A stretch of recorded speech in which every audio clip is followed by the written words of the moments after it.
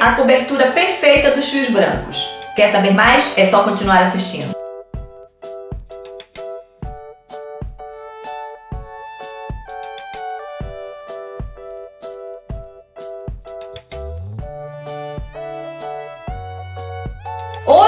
Passar para vocês como se deve colorir de forma ideal os fios brancos do cabelo da sua cliente. Naqueles 5 minutinhos que eu sempre falo aqui, vocês vão analisar este cabelo. Primeiramente, qual a porcentagem de fios brancos tem neste cabelo, qual a nuance que a cliente deseja e por aí vai, para podermos então aplicar a técnica ideal para aqueles fios. Os fios brancos, eles vão mudando de acordo com o passar do tempo. Quando estão lá bem no comecinho, os primeiros fios brancos, eles são bem grossos, eles têm muita queratina, então as escamas deles também estão muito fechadas. É por isso que nós temos clientes que têm poucos cabelos brancos, mas é difícil de ter aquela cobertura naqueles poucos fios brancos. E com o passar do tempo, que os cabelos estão 100% brancos, aí eles mudam, eles ficam finos e o volume também diminui. Sim, nós já fizemos aquela análise ali, nós já sabemos as porcentagens daqueles fios brancos também já decidimos a cor junto com a cliente. De 0 até 30% de fios brancos. E se a cliente preferiu colorir este cabelo com uma cor de reflexos muito forte, digamos um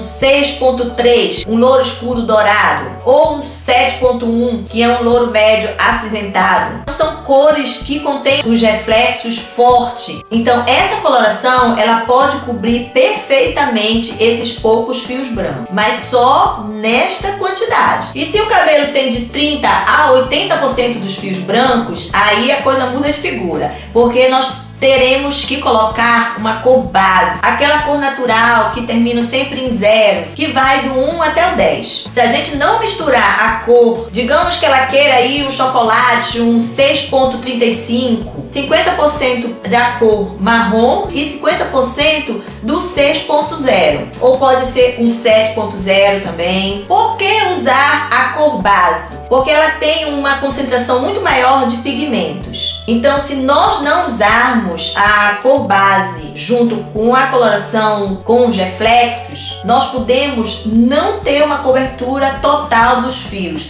e dar aquela, a gente chama de efeito transparência, que não cobriu perfeitamente o fio branco. E agora aqueles fios que estão de 80 a 100% brancos. É como se a gente fosse colorir uma tela branca de um quadro. Então nós temos que usar a técnica de colocar um tom ou um tom e meio mais escuro do que a cliente deseja, para realmente nós cobrirmos total e perfeitamente os cabelos brancos. Eu tenho um exemplo bem legal para vocês que foi um dos primeiros vídeos que eu fiz aqui já há mais de um ano atrás. Foi com a minha sogra, ela tem 100% de cabelos brancos. Eu usei o 6.0 mais o 7.1, 50% de casa, com a X de 10 volumes. Um para um e-mail. Eu vou deixar um link abaixo para vocês aqui embaixo no box de informação para vocês acompanharem como foi feito este processo no cabelo dela. Eu só não falei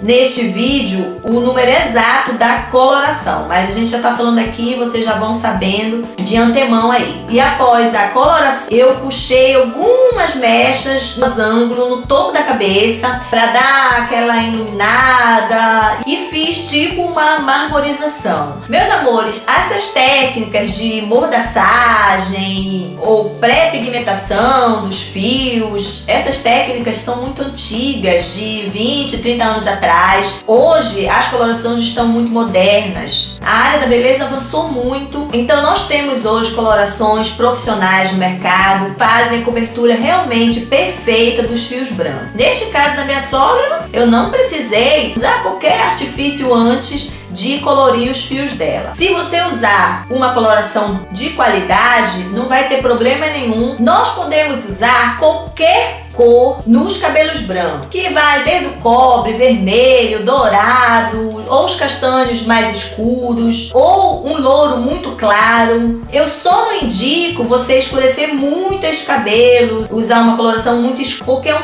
contraste de cor, uma cor muito escura e um fio branco. Você vai ter que colorir este cabelo de 15 15 dias ou toda semana. Você tem que levar em conta o desejo da cliente, a tonalidade da pele dela, a sobrancelha, para se tornar tudo muito bem harmonioso. Tem muitas clientes que não preferem fazer uma descoloração global, totalmente nesses fios. Elas escolhem fazer mechas. De acordo com que você vai costurando as mechas, você vai colorindo este fio. Você vai trabalhar com duas colorações aí. Você vai usar uma cor de fundo, que pode ser um 6, um 7, um 8, e fazendo as mechas ao mesmo tempo, para não se perder tempo em colorir este fio, para depois puxar as mechas, você vai perder muito tempo. E uma dica aí, você sempre faz este fundo com AOX de 10 volumes, porque cobre perfeitamente os fios e não vai desbotar rápido. Se daqui a três meses a cliente quiser fazer novas mechas nesse cabelo não interfere de jeito nenhum na cor. Os fios brancos, eles têm a mesma fixação dos fios naturais e eles também não desbotam com facilidade em relação aos fios naturais. Como eu já disse, hoje as colorações elas estão fantásticas. Você não precisa se preocupar com relação à cobertura perfeita dos cabelos brancos. Nós temos que atentar também para a lavagem correta. É muito importante para a cobertura perfeita dos brancos que quando a sua cliente chegar no salão, você lavar este cabelo. Só não esfregue o couro cabeludo. Lave com shampoo os fios. Logo em seguida, você dá uma secada e aplique a coloração. Então, meus amores, essas foram as técnicas ideais para cobrir perfeitamente os cabelos branquinhos. E tudo isso e muito mais você só encontra aqui neste canal. Se você gostou, clica lá no gostei pra mim, curta, compartilha, se inscreve no canal, nesse botão vermelhinho aí. Quando não tem vídeo, tem post no blog.